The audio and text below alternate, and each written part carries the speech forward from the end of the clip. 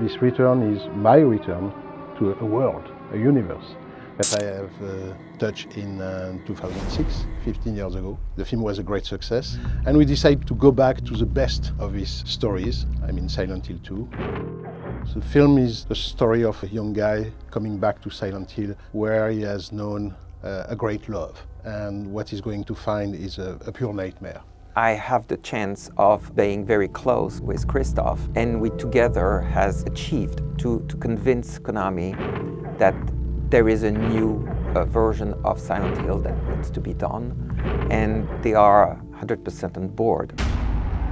In the first Silent Hill, we were exploring a world, the world of this small town, completely uh, closed into, into the mist. It was like being trapped into the, a twilight zone. But in the second game, you know, the, the creator of the game have changed the rules, you know. We were basically going back to Silent Hill, the same town, but we were looking this strange world entirely through the, the point of view of the hero we were playing. Mary, you really be in this town? He realized that Mary is lost somewhere into this strange place. At its core, it's also the idea of the myth of Orpheus and whatever a, a, man can go deep in hell to bring back the soul or the person he loved the most in his life. So it's much more about psychological horror, even if we are going to find again all the same creature and the same strange terror sequence and things like that. But the first big interrogation and the first big terror is about ourselves. Are we mad? Are we sane? Are, are we sane to go back to Silent Hill to find this great love? This one now has so many years from the first one that there is a clear idea from Christophe to make it modern, but also very true to the video game. And that's also what it is.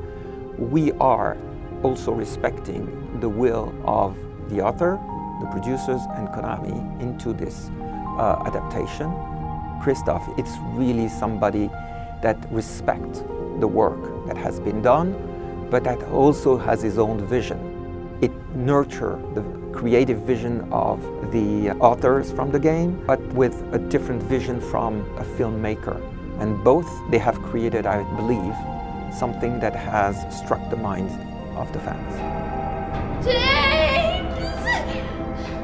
Stop!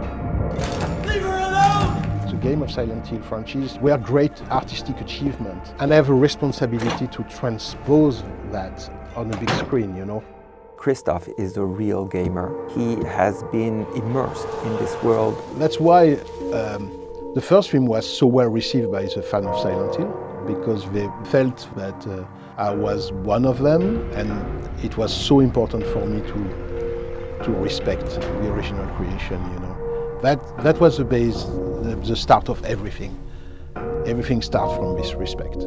So I'm going with a maximum of humility, maximum of respect, but in the same time I have quite a charge, quite a goal, which is how to transpose the language of the game, which is entirely about immersion, into a tale, into a story that we can tell in 90 or 100 minutes.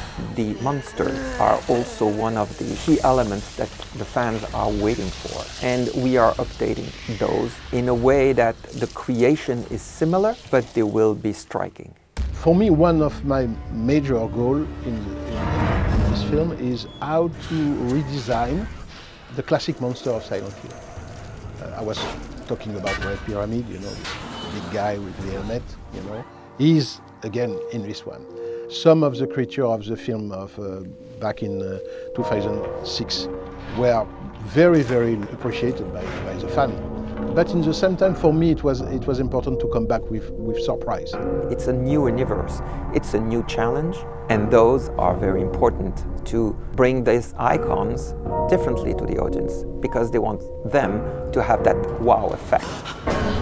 That's why, you know, I found a very interesting collaboration with the people of Konami. They helped me a lot to achieve this new design of the monster because they are also working on new episode uh, for the franchise of Silent Hill.